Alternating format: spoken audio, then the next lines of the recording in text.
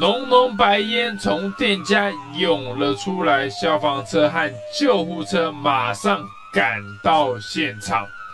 警笛大作，配上烟雾弥漫，光看到场面都让人感到相当紧张。火警发生在四号下午一点半，台北市汀州路这家知名的石头火锅店，突然从二楼冒出白烟。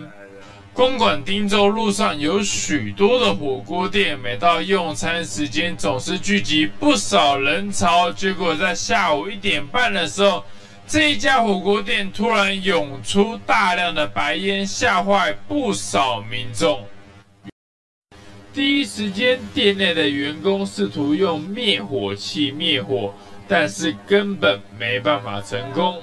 面对记者的询问，店家是低调不予回应，干脆拉下铁门，生意都不做了。其实这家火锅店选在学生多的台北公馆开业，靠着就是麻油爆香的锅底，吸引学生族群。如今吃火锅吃到起火，还好消防人员赶快到达现场。才没有人员的伤亡，也保住店家的生财工具。